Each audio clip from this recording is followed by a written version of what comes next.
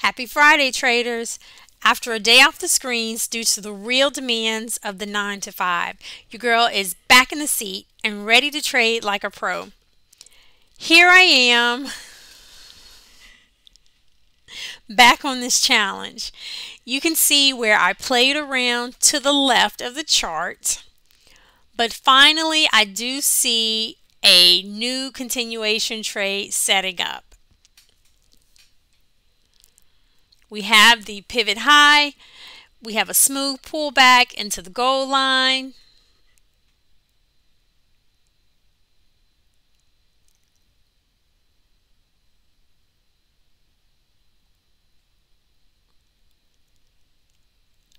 I'm patiently waiting for the entry here.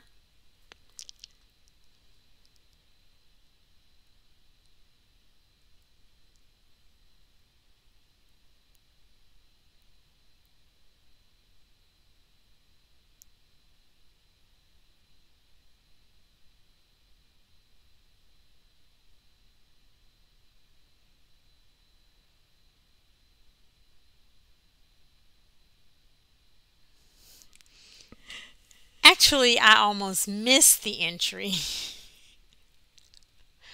I turned around to do something else and just that quick, I almost missed the entry.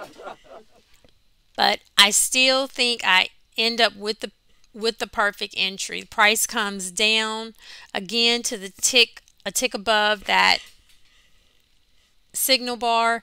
So I I think I still do have a flawless entry.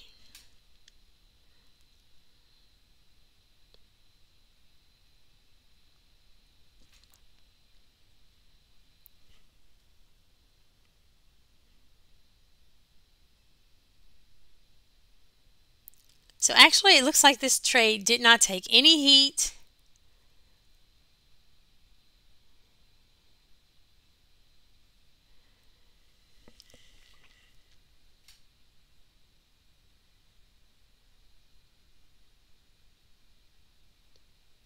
We did play around for a little while.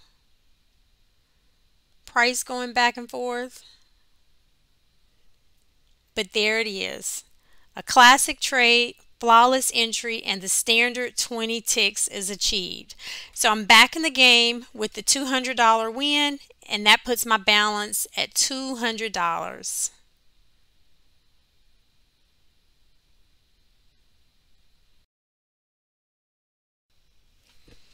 Hi again traders. In this segment we'll take a look at a trade I did in another one of my evaluations. So here we have a continuation trade that I did on the ES chart. This trade was a little bit suspect. I still think it was a continuation trade, but as you can see, it really did pull well back below the gold line there, and it took a few bars to come back and break the candle. Also, you'll notice that I didn't even have my 21 simple moving average on the chart, so I didn't have a red line there. And what concerned me was the distance of, and the space from that price had from the gold line. So I really felt that there wasn't that much support for the trade. I did take it anyway. And I guess we can see what happens. I'm definitely interested and your opinions about the trade if you think the trade was invalidated because it went so far below the gold line definitely let me know what what you all think about that.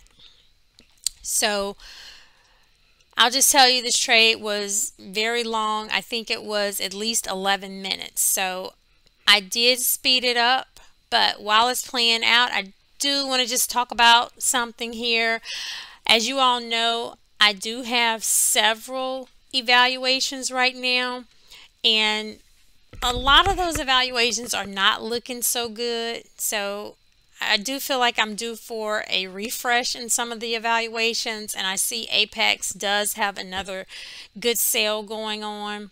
So I think I'm going to definitely pick up some more accounts probably cancel some of the other accounts, especially the accounts that have the 50% lifetime renewal fee as opposed to the 80%.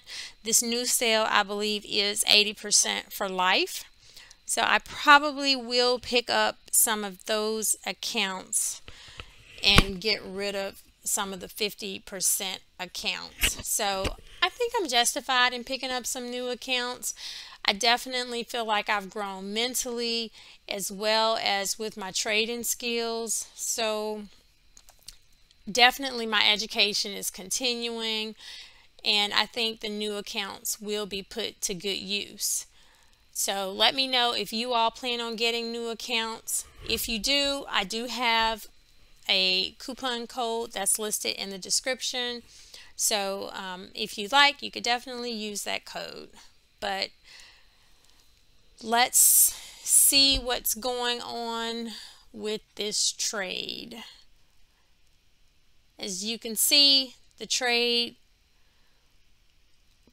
comes all the way back down and it does go closer to that gold line, which is what I thought it would probably do. I thought it would want to come back to the five minute gold line.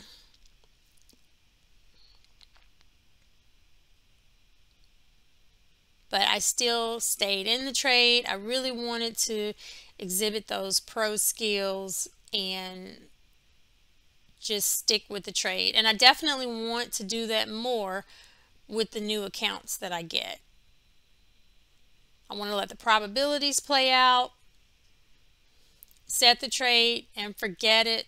Let the ATM do its work.